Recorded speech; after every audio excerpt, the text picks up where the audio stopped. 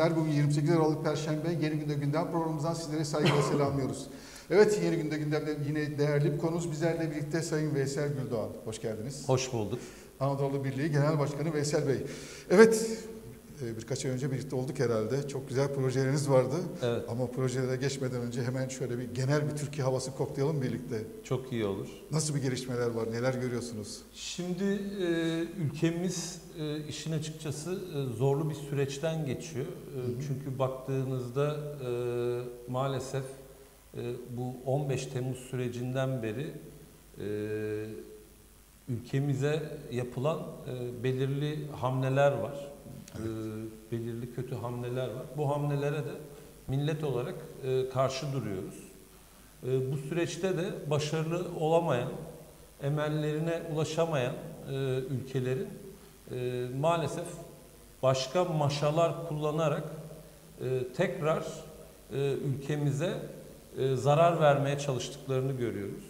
Bizim e, burada yapmamız gereken şey e, 15 Temmuz gecesinde ve e, 16 Temmuz sürecinde 16 Temmuz gününde e, halk olarak, millet olarak e, nasıl bir birlik beraberlik gösterdiysek bundan sonrasında da aynı birlik ve beraberliği göstermemiz gerekiyor. Bunun için de e, birlik beraberliğimizi sağlayıcı çalışmalar yapmamız gerekiyor. E, bizim sivil toplum kuruluşları olarak da e, bu anlamda çok büyük görevlerimiz var. E, sivil toplum kuruluşları e, şu anda hem e, yasama, yürütme ve e, yargı üç ayrı e, özerk güç arasında kendini aslında bunu daha önce eskiden medya ayağı da vardı bunun. Şimdi sivil toplum kuruluşlarının da bu durumda mutlaka müdahale etmesi gerekiyor ve Şimdi burada inceden bir medyaya bir taş mı vardı acaba? Bir- biraz- Medya ayağı vardı. Şimdi yok anlamadım. Yani ma- maalesef e, ülkemizde medya ayağında da e, bazı problemler yaşıyoruz. Maalesef. Ondan sonra bağımsız e, medyayı e, arıyoruz ve özlüyoruz işin açıkçası. E, ülkesine, milletine e, bağlı, e, ülkesinin sırlarını deşifre etmeyen, e, ülkesi için önemli olan şeyleri gazetecilik e, adıyla e, maalesef ajanlığı karıştırmayan bir e, medya da istiyoruz tabii ki. Ülkenin ihtiyacı olan bir şey. Aynı sivil toplum kuruluşları gibi. Ülkenin sırlarını deşifre etmeyen bir medya, bağımsız medya özlüyoruz diyorsunuz. Evet. Evet. Genel başladık. Şöyle İzmir'e doğru inelim mi? Tamam. Yani aslında İzmir'in de genel Türkiye'nin havasından pek farkı yok ama burada gene de biraz farklı şeyler oluyor herhalde. Ya İzmir'in en büyük problemi şu. işin açıkçası biz e, Anadolu Birliği olarak da İz, merkezi İzmir'de olan bir sivil toplum kuruluşu olarak da hep bunu savunuyoruz. Bir kentte bütün dinamikler şayet e, birbiriyle bağlantılı olur, iyi diyaloglar kurarsa bu bu şehirde yaşanılacak şehir olur. Şimdi baktığınızda İzmir tarihsel anlamda işte bir liman kenti, tarihi, kültürel yapısı, turizm bunların hepsini bir araya getirdiğinizde İzmir'in çok daha farklı bir yerde olması lazım. Biz İzmir'i kalkıp da işte Anadolu'dan bir şehirle değil, biz işte e, İspanya'dan Barcelona'yla, işte İtalya'dan Palermo'yla karşılaştırmamız gerekiyor ki İzmir ne konumda onu görelim. Yani biz maalesef ama şu anda biz İzmir'i işte Anadolu'nun bir kenti olan Kayseri ile karşılaştırıyoruz. E, sanayi olarak maalesef Kayseri'den geri durumdayız yani. Birbirimizi kandırmayalım. Yani işte daha önce kamu iktisadi teşebbüsü olup sonradan özelleştirilmiş olan 2-3 tane e, büyük işletme sayesinde İzmir işte vergide işte ilk yine 3'te vesaire bunlar hayır. Bunları ben kabul etmiyorum. Bugün sanayide Anadolu'nun birçok şehri İzmir'i geçmiş durumda. Bakın Denizlisi olsun, Kayserisi olsun, Kocaeli'si Şu olsun, yarım saat öte bir şehrimiz var. Manisa olsun, Gaziantep olsun. E tamam sanayide diyelim ki yatırımlar gelmedi. Halk biraz daha yavaş bir şehir istiyor. Şimdi öyle bir modamız var yavaş şehir diye. Ondan sonra e, turizme bakıyorsunuz. Turizmde de maalesef zor durumdayız. E, şehrin dinamikleri dedik. Şehrin dinamikleri nedir? Şehrin dinamikleri bu şehrin e, merkezi hükümetle bağlantısı olması gereken Büyükşehir Belediye Başkanı var. Yerel yönetimi var. Bu yerel yönetimlerin bağlantılı olması gereken ticaret odası var. Ticaret odası ile birlikte bu şehre sanayi katacak olması gereken sanayi odası var. Sanayi odası ile birlikte esnaf odaları var, esnaf birlikleri var, kooperatifler var, sivil toplum kuruluşları var. Bakıyorsunuz medya ayağı var. Bakıyorsunuz İzmir'de maalesef bunlardan hiçbiri birbiriyle bağlantılı şekilde çalışmıyor. Hiçbirinin birbiriyle diyaloğu yok. Hepsi birbiriyle küs. Yani koskoca İzmir'in bir tane yerel televizyonu yok. Yani uydu yayını yapan yerel televizyonu yok. Ne oldu? Nerede bunlar? Biz Sivil Toplum Kuruluşu Başkanı olarak röportaj veriyorum. Maalesef uzatılan mikrofona bir bakıyorum ki Sivas Televizyonu. İzmir'de ben Sivas Televizyonu'nun mikrofonuna konuşuyorum. Bu bizim gibi İzmirlilerin hepimizin aslında maalesef utanç kaynağı. Yani baktığınızda koskoca İzmir'de eğer uydu yayını yapan bir televizyonumuz yoksa şapkamızı önümüze alıp bir düşünmemiz lazım. Hem yerel yönetimler olarak hem merkezi hükümet olarak, merkezi hükümetin temsilcileri olarak hem de ilçe belediyeleri olarak baktığınızda e, kafamızı bir e, şöyle kendi kendimize dinlendirip ya biz ne yaptık acaba, neredeyiz diye düşünmek lazım. Tabii iş adamları ne yapmak lazım bu saydıklarının içerisinde? Yani şimdi iş adamlarına e, baktığınızda şimdi e, ben de bir iş adamıyım ama e, şimdi iş adamları neye bakıyorlar? İş adamları e, kentin lojistik kısmına bakıyorlar.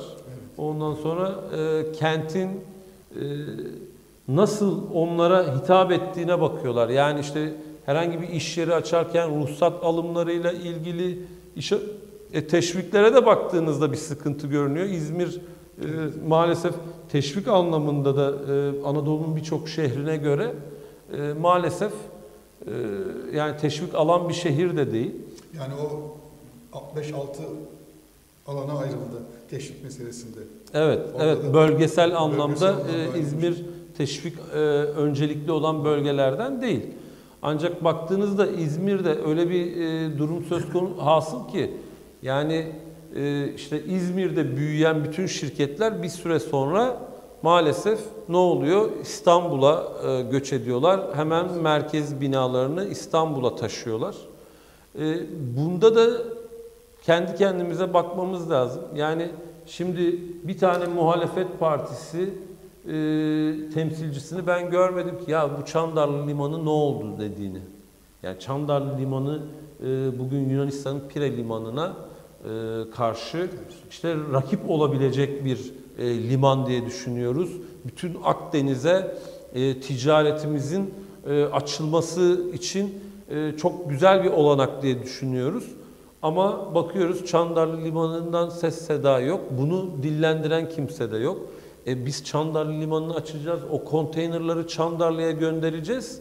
Dolayısıyla Alsancak Limanı'nı da tamamen kruz turizmine e, açık hale getireceğiz. Ondan sonra e, turizmi canlandırma anlamında, esnafı canlandırma anlamında bir şey yapacağız.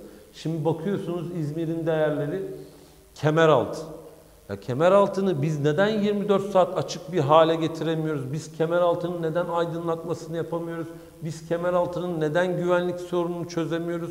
Neden biz kemeraltını 24 saat yaşanılabilir, işte insanların alışveriş yaptığı, insanların kahvesini içtiği, ondan sonra gerçekten işte turistlerin direkt oraya geldiği, artık AVM'lerden sıyrılabileceğimiz yer olan bir yeri neden değerlendiremiyoruz? senelerdir maalesef kaderine terk edilmiş bir yer. Baktığınızda tarihiyle de çok önemli bir yer. Orada e, yarım asırlık esnaflar var. Bu esnaflarımız e, gerçekten bu durumdan şikayetçi. E, İzmir'in güzide yerlerinden biri ama bakıyorsunuz ki maalesef ortada hiçbir şey yok. Bugün işte bakıyorsunuz binlerce yıllık tarihi var Agora'nın. Daha yeni yeni biz Agora'nın ne olduğunu işte Agora'da neler olduğunu fark ediyoruz. Bunlar e, İzmir'in hep kaybedilmiş yılları. Ha bu demek değil ki İzmir değerinden bir şey kaybediyor. Hayır. Şimdi İzmir'in işte denizini bir yere taşıyamazsınız. İzmir'in doğal güzelliklerini bir yere taşıyamazsınız. İzmir'in insanların güzelliklerini ve samimiyetini bir yere taşıyamazsınız. Ha bizim isteğimiz ne?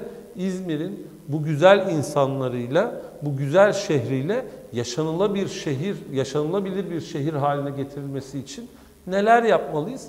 Ve bunları yaparken de şehrin dinamiklerini nasıl bir araya getiririz? Bizim sivil toplum kuruluşu olarak da en büyük amacımız bu dinamikleri bir araya getirmek. Bakın e, bir yerli otomobil e, üretimiyle ilgili bir durum hasıl oldu. Bunu bu yerli otomobilin üretimiyle ilgili yer konusunda işte biz dedik ki İzmir olarak biz evet bu yerli otomobil üretim e, yerine talibiz. Neden? İşte limanımız var. İşte birçok e, gereken yedek parçayla ilgili her yere yakınız. Lojistik anlamda işte hem karayolu hem deniz yolu hepsini kullanabiliriz vesaire. Bakın bu yerli otomobil üretimiyle ilgili eğer şayet mutlaka işte İzmir'de üretilmesiyle ilgili bir süreç yürütülecekse bunu bırakın. Ticaret odası, sanayi odası, sivil toplum kuruluşları bizler yapalım. Çünkü siz yerel yönetim olarak buna ben öncülük edeyim derseniz maalesef yapı gereği merkezi hükümet temsilcileri sizinle birlikte olmuyor. Merkezi hükümet temsilcileri şayet bu konuda öncülük edelim derlerse bu sefer yerel yönetimler onlarla birlikte olmuyor. Sıkıntı buradan kaynaklanıyor zaten. Ticaret odası öncülük yapalım diyor. İşte Büyükşehir Belediye Başkanı diyor ki "Ha, ben o adamı sevmiyorum. Örnek veriyorum yani. O, o zaman sanayi odası yapsın ama biz de o adamı sevmiyoruz. Böyle bir şey yok. Yani kişilere bağlı değil. Bakın İzmir'in ticaretinde e, en fazla eleştiriyi nedense ticaretin çeyrek asırdır başında olan insan yapıyor. Nasıl olur bu ya? Yani işte yerel hizmetlerle ilgili bir şikayet oluyor. Bakıyorsunuz işte 14-15 senedir başında olan insan yerel e, yönetimlerin zafiyetiyle ilgili şikayette bulunuyor. O onu suçluyor, o onu suçluyor. İşte ama baktığınızda kaybeden İzmir oluyor. İnşallah biz Anadolu Birliği olarak e, İzmir'de sivil toplum kuruluşu olarak bu saydığım organizasyonun kurulması için elimizden geleni yapacağız diyorum. Evet, Anadolu Birliği demişken hemen Anadolu Birliği'ne geçelim. Neler oluyor Anadolu Birliği'nde? Na- Nasıl Şimdi- çalışmalar var? Tabii e, belki bizi izleyip de Anadolu Birliği'ni tanımayan e, veya e, daha önce çok fazla bilgisi olmayan e, izleyicilerimiz için ben bir kez daha söyleyeyim. Anadolu Birliği 2003 yılında e, genel merkezi İzmir'de e, kurulmuş olan bir sivil toplum kuruluşu. Anadolu Birliği'nin kuruluşunda e, Doğu, Güneydoğu kökenli insanların İzmir'e göç etmiş olan insanların kente entegrasyonunu sağlayıp dezavantajlı durumdan avantajlı duruma geçişini sağlayabilmek için oluşturulmuş bir sivil toplum kuruluşu. Ancak Anadolu Birliği bugünkü yapısıyla kuruluşunun da tabii ki etkisinden çıkmadan ancak bugünkü yapısıyla 7 bölgeye de 7 bölgeden temsilcinin de içinde olduğu e, bir sivil toplum kuruluşu. Bugün e, 23 kişilik yönetim kurulumuzda e, Karadenizli arkadaşımız da var. İşte Akdeniz'den, Mersin'den arkadaşımız da var. İşte baktığınızda Ege bölgesinden, Manisa'dan da arkadaşımız var. Anadolu Birliği isim olarak e, gerçekten inanılmaz bir isim. Bugün özellikle e, süreç olarak e, baktığınızda Avrupa Birliği'nden uzaklaşmış. İşte NATO'da kalalım mı yoksa devam mı e- devam etmeyelim mi diye düşünen e, bir ülkenin sivil toplum kuruluşlarından bir tanesinin isminin Anadolu Birliği olması çok özel benim e, gözümde. Çünkü Anadolu'daki birlik ve beraberliği sağladığımızda belki gerçekten e, bunların hiçbirine gerek kalmayacaktır. E, çünkü baktığınızda artık dünyadaki birçok ülke e, deyim yerindeyse zalim ülkelerin yanında yer alacağına gerçekten e, birlikte omuz omuza verip e, emperyalizmle savaşmak için yeni topluluklar aramakta. Bence bu yeni oluşumların temeli de Anadolu'dan geçiyor. Biz Anadolu'daki birlik ve beraberliği sağladığımızda ülke olarak önümüzde hiçbir engelin olacağını düşünmüyorum. Amerika'nın yalnız başına kalması Birleşmiş En son Milletler'de- en son Birleşmiş Milletler Genel Kurulu'nda buna e, hepimiz şahit olduk. Böyle bir tarihsel olaya. Bundan sonraki süreçte de eminim e, emperyalist ülkelere, hala Afrika ülkelerini e, sömürü için, hala e, enerji kaynakları için işte insanları sömüren e, bu düzenin e, yok olması için e, ortam hazır aslında. Sadece bunları bir araya getirecek belki de yeni oluşumlar gerekli diye düşünüyorum. ateşleyecek diyorsunuz. Aynen. Şunlar, evet. Aynen. İnşallah devam eder böyle çünkü gidiş güzel. Ee, Birleşmiş Milletler'de ilk kez bu kadar ülkenin yan yana gelmesi, sadece e, ismi dahi duyulmamış birkaç e, ülkenin Amerika'nın arkasında olması aslında bir şeylerin göstergesi. Evet. Umarım devam eder. Evet, geçen konuşmamızda bir 10 Kasım'daki lokmadan bahsetmiştiniz. Evet biz en son e, 10 Kasım'dan e, önce sizinle yaptığımız bir görüşmede Evet. ben bir e, Anadolu Birliği olarak bir projemizden bahsetmiştim. Bu projemiz biz 2017 yılının e, 10 Kasım'ında kurucu liderimiz, önderimiz Mustafa Kemal Atatürk'ün e, anmak anlamında İzmir'e özgü e, lokma dökümüyle e, bunu birleştirelim istediğimizi söylemiştim. Ve bununla ilgili de İzmir'in 30 ilçesinde biz e, 10 Kasım gününde e, bunu bu projemizi gerçekleştirdik. Lokma döktürdük E, ve kurucu önderimizi e, büyük lider Mustafa Kemal Atatürk'ü e, anmış olduk bu babda E, ve gerçekten çok e, teveccüh gösterdi İzmir halkı. Bu anlamda da bütün halkımıza teşekkür ediyoruz.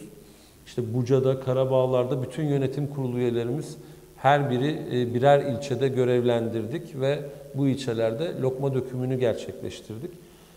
2018'deki hedefimiz de bunu o zaman da söylemiştik. 2018'deki hedefimizde biz Türkiye'nin 81 ilinde bunu gerçekleştireceğiz. Bir İzmirli sivil toplum kuruluşu olarak hedefimiz İz, İzmirli bir sivil toplum kuruluşu, İzmir merkezli bir sivil toplum kuruluşu olarak hedefimiz kurucu liderimiz Gazi Mustafa Kemal Atatürk'ü 81 ilde İzmir'e özgü lokma döktürerek anmak.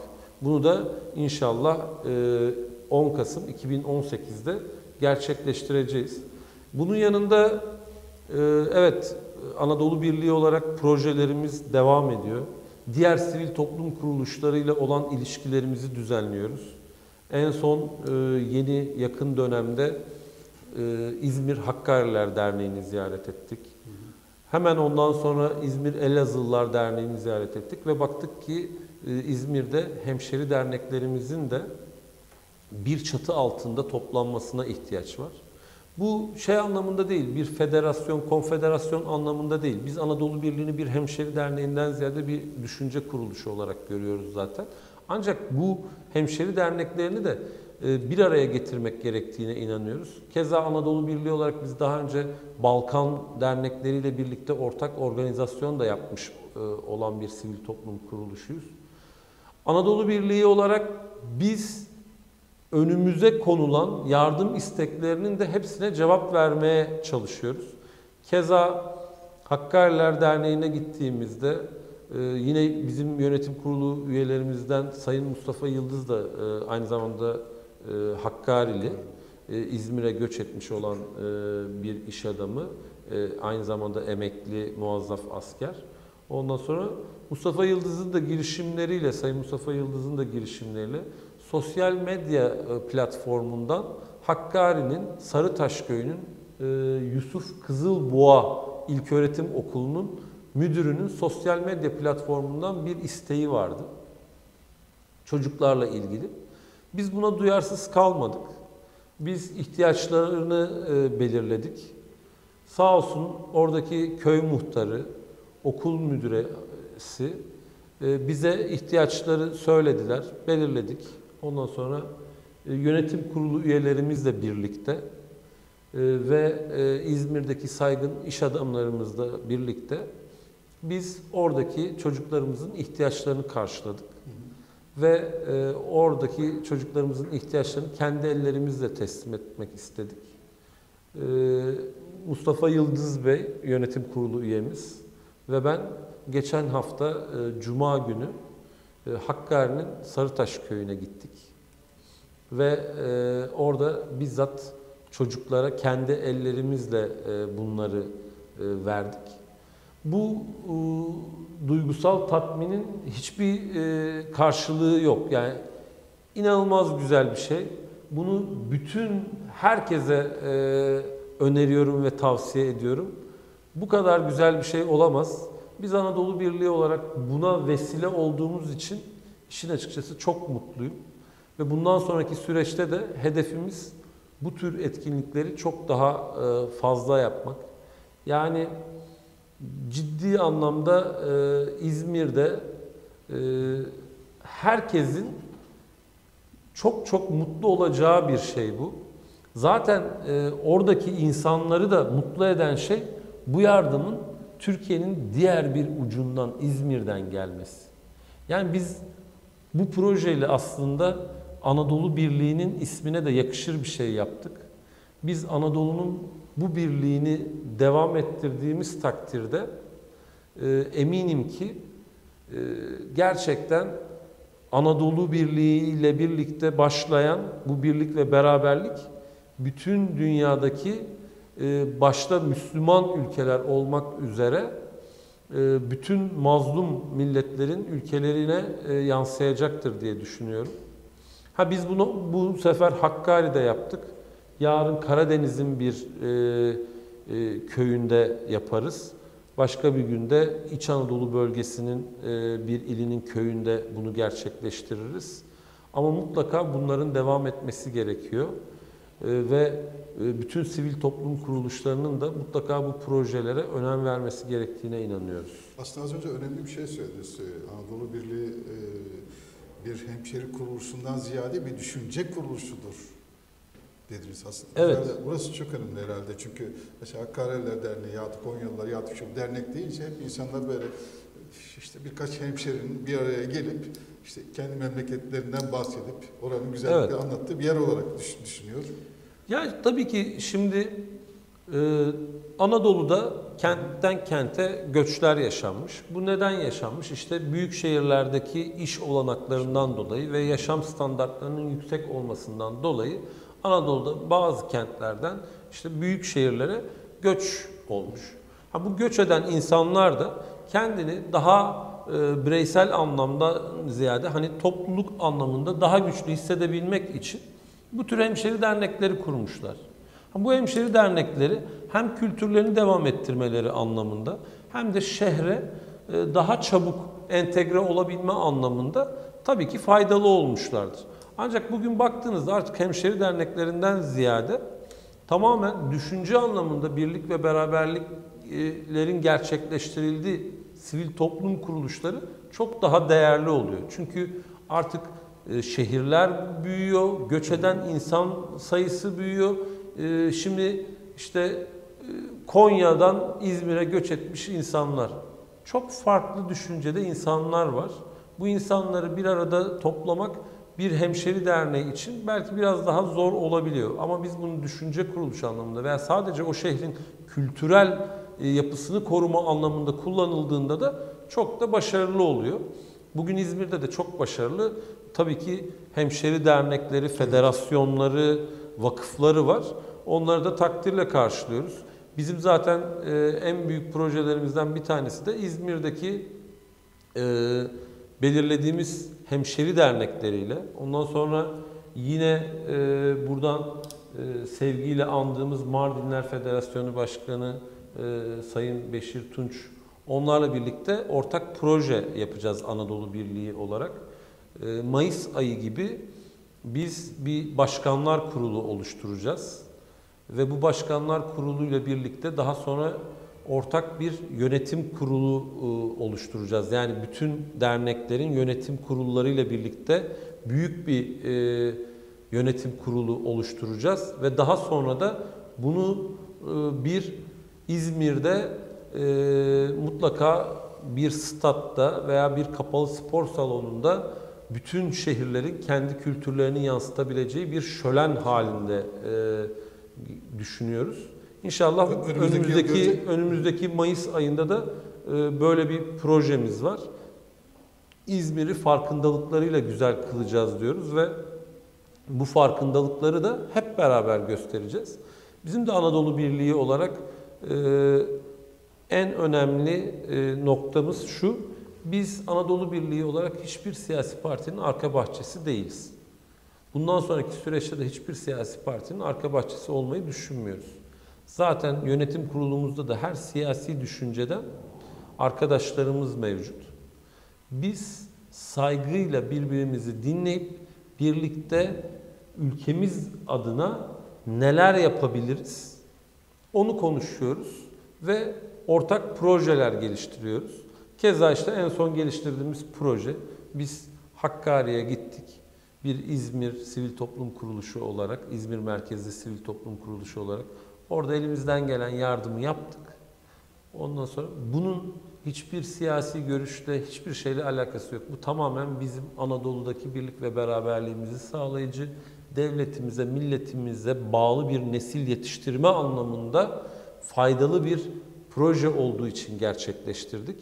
Keza bizim oradaki çocuklarımıza mutlaka halk olarak, millet olarak birlik ve beraberliğimizi hissettirmemiz lazım. Yani bizim buradaki çocuklarımız işte bütün gün ellerinde tabletle, telefonla, ondan sonra bir e, cam fanus içinde büyürken orada zor şartlarda büyüyen çocuklarımızın aslında unutulmadığını, buradaki halkın o bölgedeki halkı da unutmadığını anlatmamız gerekiyor ve bu da onun için bir vesile sadece. Evet, önümüzdeki günlerde başkan ne gibi ilginç projeler var? Böyle sadece bu Anadolu'ya yönelik projeler mi yoksa İzmir içerisinde de yapacaklarınız da var mı? Çünkü biraz evvel İzmir, İzmir'le ilgili çok gerçekten söylediğiniz bir şey vardı, çok önemliydi. Kentin dinamiklerinin birlikte çalışması gereğinden bahsettiniz. Evet. Şimdi evet. yani bunun altını biraz daha karıştırırsak aslında çok güzel şeyler var. Yani biz şimdi kentin kalkınması istiyorsak, yani bir taraftan da diyoruz ya İzmir Evet. e, Anadolu'nun batıya açılan yüzüdür falan gibi böyle. Ama işte onu hak ediyor muyuz, hak etmiyor muyuz? Bütün mesele orada. Yani biz işin açıkçası aynı zamanda e, yerel yöneticileri de ziyaret ediyoruz bu arada e, dernek e, yönetim kurulu olarak, Anadolu Birliği Yönetim Kurulu olarak e, yerel yöneticilerimizi ziyaret ediyoruz. Bundan sonraki süreçte e, ticaret odası önümüzde ticaret odası seçimleri var, sanayi odası seçimleri var, oda seçimleri var. Biz Anadolu Birliği olarak e, yönetim kurulunda ve üyelerimiz arasındaki temsilcilerimizi bu anlamda destekleyeceğiz. Ve e, burada e, Anadolu Birliği dediğimizdeki o ikinci kelimemiz olan birliğimizi de göstereceğiz. Yani ticaret odasında da desteklediğimiz arkadaşlarımız olacak. Kendi meslek komitelerinde. Biz onların İzmir ticaretinde yer edinebilmesi için, meclis üyesi olabilmesi için hep birlikte, hep beraber mutlaka bir çalışma düzenleyeceğiz. Bunun sonrasında e, siyaseten de e, eğer bir temsilci noktasında e, bir şey gerekirse bu şehirde biz Anadolu Birliği olarak parti gözetmeksizin e, kendi üyelerimiz içerisindeki arkadaşlarımızı e, sonuna kadar destekleyeceğiz ve e, biz bu şehrin hem siyasetinde hem e, işte ticaretinde e, her yerde elimizden geldiğince şehre faydalı olabilecek her konuda mutlaka proje geliştireceğiz. işte eğitim kursları düşünüyoruz. Halk eğitimlerle ortak e, projeler geliştirmeyi düşünüyoruz. Aile Sosyal Politikalar İl Müdürlüğü aracılığıyla mutlaka eğitim düzenlemesi istiyoruz. Kaymakamlıklarla görüşüyoruz. Kaymakamlıklarımızla ortak projeler düzenlemeyi düşünüyoruz. Yani biz bir tek tabii ki işte Doğu, Güneydoğu'daki veya Anadolu'nun diğer illerindeki çocuklarımızdan ziyade İzmir'in de birçok bazı bölgelerinde Evet. hala oyuncağı olmayan, hala bazı eksiklikleri olan çocuklarımız var. Ondan sonra yetişkinlerimiz var. Mutlaka bunlarla da ilgilenmemiz gerektiğine inanıyoruz.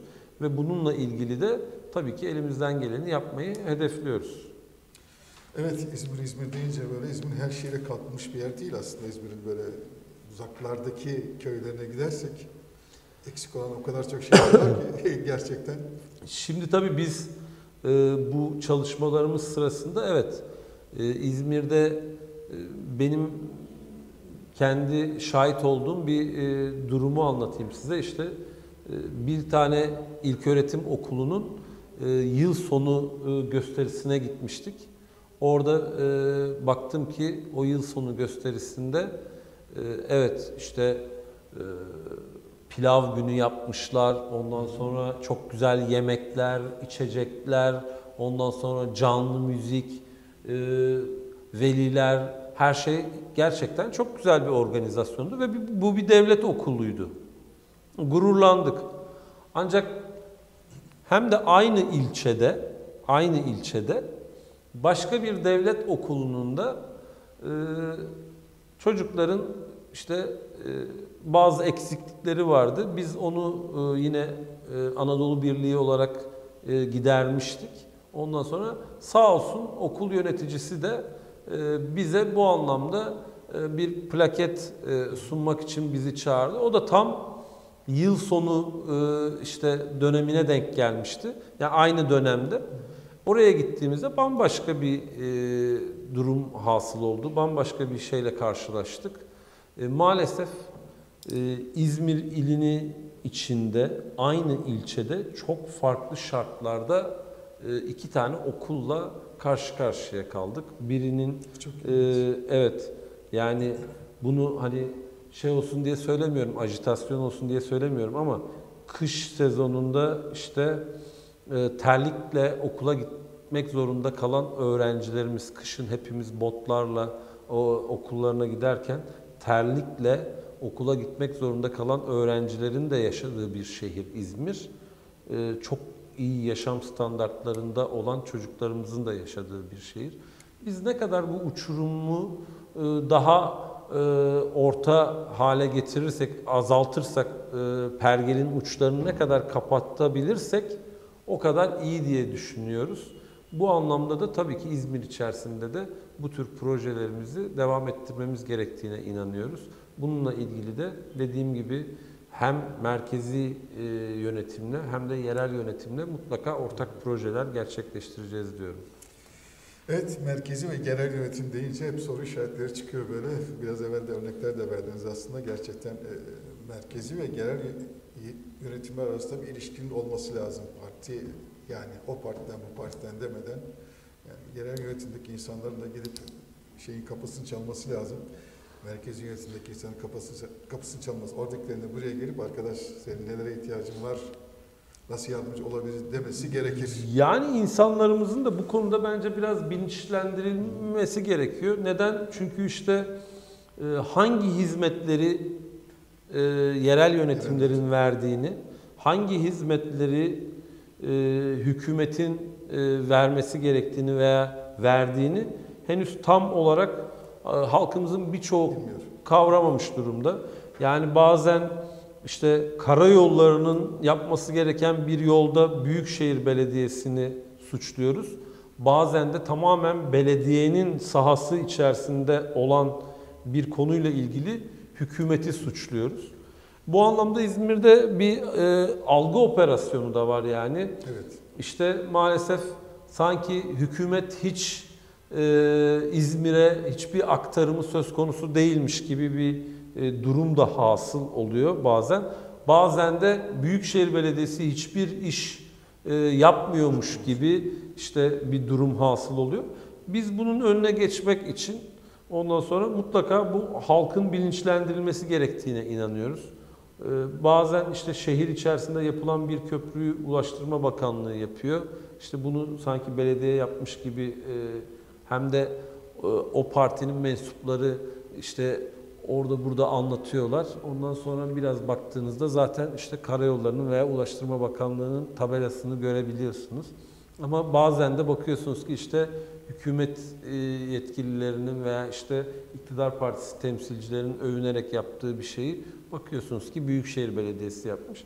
Ha bunlar çok önemli değil. Önemli olan halka hizmet. Yani bu halka hizmet gitsin kimin yaptığı ne yaptığı önemli değil. Sonuçta biz Türkiye Cumhuriyeti'nin birlik ve beraberliği doğrultusunda yapılan işler doğrultusunda insanları kucaklar ve severiz. Bizim Anadolu Birliği olarak da zaten 3 tane kırmızı çizgimiz var. Bu kırmızı çizgimize uyan bütün arkadaşlara da kapımız sonuna kadar açık. Hani e, memleket gözetmeksizin İzmir'de yaşayan e, herkese kapımız açık. Bizim kırmızı çizgilerimiz nedir? İstiklal Marşımız. Bu arada e, dün de e, İstiklal Marşımızın e, yazarı e, Mehmet Akif Ersoy'un e, aynı zamanda e, ölüm yıl dönümüydü. Onu da buradan saygıyla anıyoruz. Bakın 10 kıtası ve her bir mısrası o kadar önemli e, olan bir İstiklal Marşımız var ki bütün çocuklarımızı bunu anlamlarıyla mutlaka İstiklal Marşımızı öğretmeliyiz. İstiklal Marşımız bizim kırmızı çizgimizdir. Bizim ay yıldızlı Türk bayrağı kırmızı çizgimizdir. Şehit kanlarıyla rengini almış, şehit kanlarının renginden almış bir bayrağımız var. Bizim kırmızı çizgimizdir ve kurucu önderimiz Mustafa Kemal Atatürk sevgisi bizim Anadolu Birliği olarak üç tane kırmızı çizgimiz var.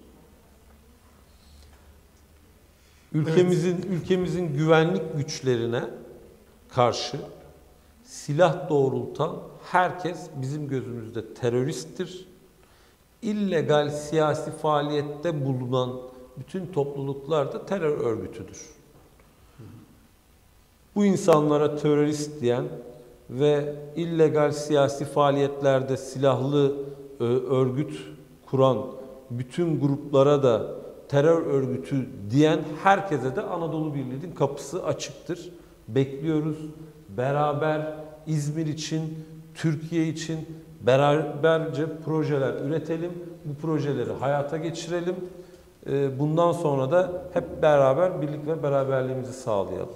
Son sözlerinizi alalım böyle. Tamam güzel şeyler sö- söylediniz ama Evet. son söz olarak neler söylersiniz onları alalım. Tamam. Ben e, Evet. İzmir'deki tüm hemşerilerimize, bizi izleyen herkese saygı ve sevgilerimi sunuyorum. En kalbi muhabbetle tekrar selamlıyorum. Hepinize çok teşekkür ediyorum. Sağ olun, var olun. Evet burada herhalde se- bu yılın son sohbeti olacak sizinle. Evet bu arada evet, Evet. bütün izleyicilerimizin de e, yeni yılını kutluyoruz. İnşallah daha huzurlu, sağlıklı bir yıl bizimle birlikte olur. E, bu arada evet yeni Daha, yılda daha da güzel olalım. projelerle inşallah tekrar İnşallah. karşılaşacağız yeni yılda. İnşallah. Evet çok teşekkürler. Ben teşekkür Biz ederim. Çalışmanıza başarılar diliyoruz Yeni Gün ailesi olarak. Sağ olun. İnşallah tekrar önümüzdeki yıl güzel projelerle birlikte olacağız. Evet sayın seyirciler Yeni Günde Gündem burada sona eriyor. Konuğumuz Sayın Veysel Gül- Güldoğan'dı. Anadolu Birliği Genel Başkanı. Biz Yeni Gün ailesi olarak kendisine çalışmalarında başarılar diliyoruz. Ve yeni bir Yeni Günde Gündem'de tekrar buluşmak dileğiyle. Hepiniz hoşçakalın. Música